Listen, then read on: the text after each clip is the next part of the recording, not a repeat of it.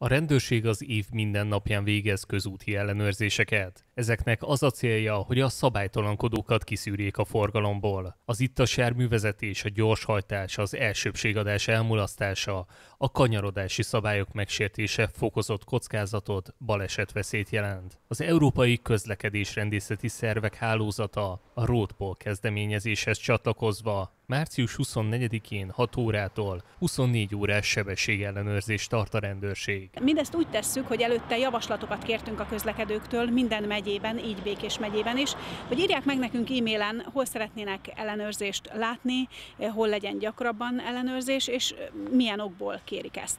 Örömteli dolog, hogy Békés megyében érkeztek érdemi javaslatok, szép számmal, összesen 41 levelet kaptunk, és azt látjuk a leírásokból, hogy akik nekünk címezték ezeket a leveleket, le is írják egészen pontosan, hogy mely helyszínen miért tartják problémásnak a közlekedést, mit gondolnak, hogy a gyorshajtás hogy jelenik ott meg, illetve kiket veszélyeztet. Csütörtök reggel 9 és 10 óra között Békés Csabán a Dobozi úton is mérték a közlekedők sebességét. Pár kilométerrel arrébb pedig igazoltatták a járművezetőket. Zsákai Gellén Gyula 1963-ban szerezte meg a jogosítványát. Mindenre odafigyelek, tehát a gépkocsi vezetés ez egy veszélyes üzem.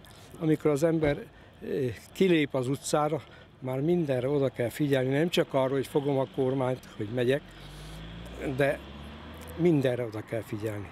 A gyalogosokra, a kerékpárosokra, a, a macskák, kutyákra, akik átmennek előttem, stb. Úgyhogy nem volt semmi még, sajnos.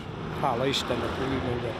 A rendőrség elsődleges célja a szemléletformálás. Ennek érdekében közzé is tették online felületen a mérési helyszíneket. A Békés megyei rendőrfőkapitányság munkatársai azt kérik, hogy a forgalomban közlekedők lássák be, hogy a közúti közlekedés mekkora veszéllyel, felelősséggel jár nem csak saját magukat, hanem az utasaikat is veszélyeztethetik. Azt sem szabad elfelejteni, hogy amikor a közúti közlekedésben bármilyen formában részt veszünk, gyalogosként, kerékpárosként, bármilyen járművezetőjeként, akkor, akkor másokra is figyelnünk kell. Hiszen nem csak az történik ilyenkor, amit én magam cselekszem, hanem figyelnem kell arra, hogy a közlekedő partnereim hogyan cselekszenek, és milyen forgalmi helyzet alakul ki.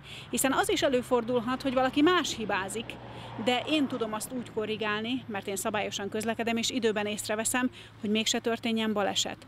Nagyon fontos tehát, hogy figyeljünk magunkra, egymásra, tartsuk be a szabályokat. Szombati Andrea kiemelte, 2021-ben a gyorshajtás volt a vezető baleseti ok Magyarországon. Békés megyében az elsőbségadás elmulasztása volt a dobogó felsőfokán, de nem sokkal utána következett a gyorshajtás. Tavaly négy halálos baleset történt a sebességben nem tartása miatt.